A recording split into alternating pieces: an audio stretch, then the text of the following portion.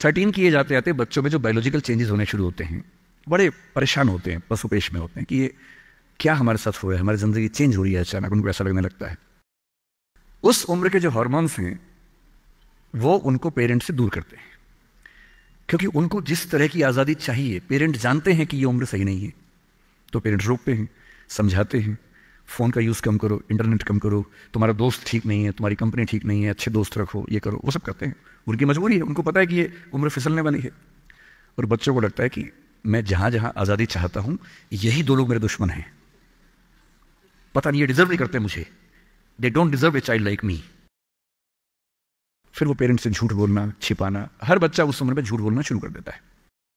कुछ बहुत प्यारे मासूम बच्चों को छोड़ दूँ मैं, एक दो परसेंट बाकी सब थोड़ा बहुत झूठ तो बोल लेते हैं। कुछ ज़्यादा शातिर हो जाते हैं। इतना खतरनाक झूठ बोलते हैं। लाई डिटेक्शन टेस्ट करवा लेंगे तो नहीं पकड़ में आएँगे। इतना अच्छा झूठ बोलने लग जाते हैं क्योंकि उन्होंने सीख लिया दोस्तों से सब करके। और ये जो उम्र है थर्टीन से नाइनटीन जो गैंग एज है, ये जो दोस्त हैं, इनका असर इतना ज़्यादा होता है। और आपकी पर्सनैलिटी कैसी है? हर गैंग में चार पाँच लोग होते हैं, उनमें से एक मुखिया होता है उनका। गैंग का नेता होता है, जो थोड़ा सा एग्रेसिव है डोमिनेटिंग है एसर्टिव है। वो फैसले करता है सबके लिए। आपने डिसीज़न मेकिंग का सवाल पूछा? इसी पे सो समझेंगे। उसने कहा कि चलो, सब फ़िल्म लेके आएँगे। तो बाकी चार फॉलोअर्स होते हैं। वो चलते हैं, जी जी, चलो चलो चलो चलो चलो। इन सबका सेल्फ रिस्पेक्ट का लेवल अलग अलग है। जो नेता है, उसमें सेल्फ रिस्पेक्ट बहुत ज़्यादा है। इतनी ज़्यादा है कि वो दूसरों की सेल्फ रिस्पेक्ट की धज्जियाँ उड़ा देता है। वो ये मान के चलता है कि मैं राजा हूँ, जो मैं कहूँगा वही होगा।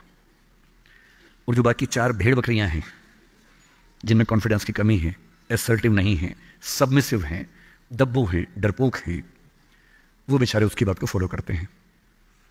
और ये जो चार है ना, इन पे खतरा बहुत ज़्यादा है। क्योंकि जो नेता है, वो पहले से बिगड़ा हुआ है। वो हैबिचुअल है कई चीज़ों का। और वो इन चारों को बोलता है, आज हम सब ड्रग्स ट्राई करेंगे। पूछ नहीं रहा है, बता रहा है। अब इन चार में से एक के मन में है कि ना करूँ। मम्मी ने उसको हज़ार बार समझाया कि बेटा ये मत करना। वो बेचारा बोल ही नहीं पा रहा। घबराहट हो रही है उसको। बड़ी मुश्किल से मिमियाते हुए एक वाक्य उसने बोला। मिमियाना मतलब बिल्ली की तरह से बोलना, कैट की तरह से बोलना। उसने कहा, यार, मम्मी ने कहा था ठीक नहीं होता है। अब उसके बाद ज़ोर से ठाका मार गया, ये देखो मम्मी का बच्चा, ये देखो मम्मी का बच्चा। इसको दुद्धू पिलाओ दुद्धू पिलाओ इसको। बच्चा है बच्चा है, ये तो बड़ा ही नहीं हुआ है तो मर्द ही नहीं बना अब तक। हम तो मर्द हैं, हम तो बड़े हैं, हम तो ग्रोन अप हैं। इस बच्चे की सेल्फ एस्टीम सेल्फ रिस्पेक्ट इतनी कम है कि डर जाएगा। एकदम घबरा जाएगा।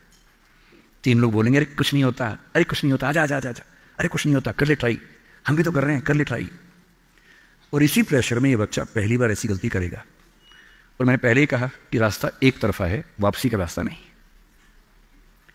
इस प्रेशर को बोलते हैं पीयर ग्रुप प्रेशर, दोस्तों का प्रेशर। मैं अपने बच्चे को केवल एक बात सिखाता हूँ।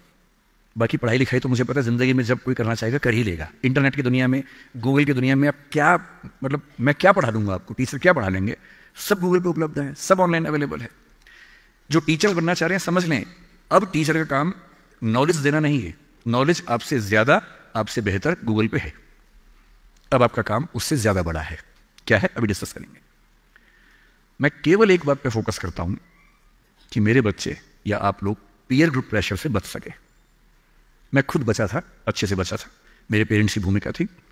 मैं जिस हॉस्टल में रहा, उस हॉस्टल में लगभग सब ड्रिंक करते थे कॉलेज के दिनों में। मैं नहीं करता था।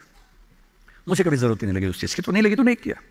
अच्छी बात सिर्फ़ इतनी है, मैं ये नहीं कह रहा कि ड्रिंक करना अच्छी बात है कि बुरी बात है, वो तो इंडिविजुअल फैसला हर किसी का है, लेकिन मैच्योर होने के बाद, बचपन में नहीं। मैं सिर्फ़ ये कहना चाह रहा हूँ कि अगर चार लोग उस पर दबाव डाले और मैं उनके दबाव में आ जाऊँ, ये ठीक नहीं। मुझे ध्यान है कि हमारे हॉस्टल की नाइट चलती थी। फ्राइडे की रात है वार्डन सब छुट्टी पे हैं। दस बारह लोग एक कमरे में बैठे हैं। शराब की बोतल खोल ली है या बियर जो भी है। सबका मन है पीने का। वो ग्रेज मतलब एडल्ट हैं एटीन प्लस के थे। वो शायद लीगली अलाउड होगा उनके लिए, मुझे नहीं पता। और जो लोग नहीं पीना चाहते, उनको दबाव बना रहे हैं कि आ पी के दिखा तो मर्द है तो पी के दिखाओ बड़ा हो गया तो पी के दिखा। जब भी कोई ऐसा दबाव बनाए ना, इतना भी दबाव में नहीं आना है। जैसे भी बोले, बड़ा है तो पी के दिखा। आपको बोलना है, मैं इसको पिए बिना ही बड़ा हूँ। मर्द है तो पी के दिखा। मैं इसको पिए बिना ही मर्द रहता हूँ। तुम इसको पी के मर्द बनते हो? हम ऐसे मर्द हैं भाई। दोस्त नहीं है क्या हमारा? तो क्या बोलना है? अगर तुम्हारी दोस्ती के लिए मुझे पीनी पड़ेगी शराब तो मेरी दोस्ती के लिए तुम छोड़ क्यों नहीं सकते? अजीब बात है भाई। दोस्त, क्या मैं ही तुम्हारा दोस्त हूँ? तुम मेरे दोस्त नहीं हो? तुम्हारी दोस्ती के लिए मैं ड्रग्स लेना शुरू कर दूँ और मेरी दोस्ती के लिए तुम छोड़ नहीं सकते? अगर तुम छोड़ नहीं सकते तो मैं ले नहीं सकता। और दोस्ती अपनी जगह है। हमेशा ध्यान रखना। भूल के भी कभी कोई ऐसी डिमांड मत करना, जो दोस्ती की हदों से ज़्यादा जाती हो। मैं साफ़ कह रहा हूँ, मैं ड्रग्स के रास्ते पर नहीं जाऊँगा। ये ये काम मैं नहीं करूँगा। मुझसे दोस्ती रखनी है। इन शर्तों के साथ रखो। मैं किसी दबाव में ना आया हूँ, ना आऊँगा। इसको बोलते हैं एसर्टिवनेस अपनी शर्तों पर जीऊँगा। इसी के दबाव में नहीं जीऊँगा। जो गलत है गलत है। नहीं करना है तो नहीं करना है।